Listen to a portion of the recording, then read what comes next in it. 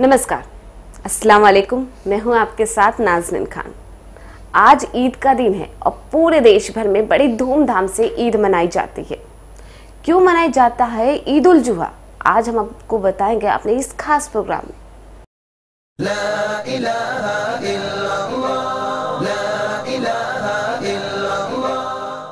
इस्लाम धर्म में दो ईद मनाई जाती है।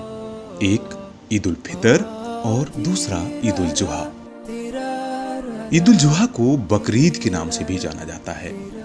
एक और जहाँ ईद का त्योहार प्रेम और भाईचारे का संदेश देता है तो बकरीद अपने कर्तव्य को निभाने का और अल्लाह के प्रति अपने विश्वास को कायम रखने का पर्व है। इन सब के अलावा बकरीद कुर्बानी का दिन भी कहा जाता है, क्योंकि इस दिन कुर्बानी दी जाती है।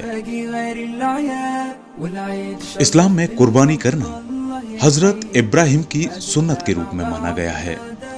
बकरीद पर बकरों की कुर्बानी क्यों दी जाती है? कुर्बानी के पीछे क्या कारण है? ऐसा माना जाता है कि बकरों की कुर्बानी देना मुसलमानों के लिए वाजिब है, जो अल्लाह के रसूलों में से ही एक है। कहा जाता है कि अल्लाह ने हज़रत इब्राहिम सलाम को अपनी सबसे अज़ीज़ चीज़ को कुर्बान करने का हुक्म दिया था। बता दें, उस वक्त हज़रत इब्राहिम की उम्र 80 साल की थी और वे उसी उम्र में पिता बने थे। उनके लिए उनका बेटा सबसे अज़ीज़ था। ऐसे में उन्होंने अल्लाह के हुक्म की तामील की और बेटे को अल्लाह की रजा के लिए कुर्बान करने को राज़ी हो गए।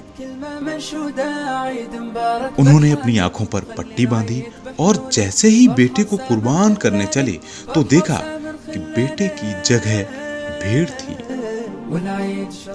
अल्लाह का ये कर्म देखते ही इब्राहिम की आँखें नम हो गईं और उन्होंने अल्लाह का शुक्र अदा किया।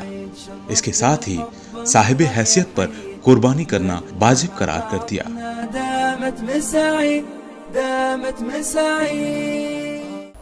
ये थी हमारी खास पेशकश। फ़िलहाल हमें दीजिए इजाज़त। बाकी खबरों के लिए देखते रहिए लाइव खबर। अल्लाह हाफिज़।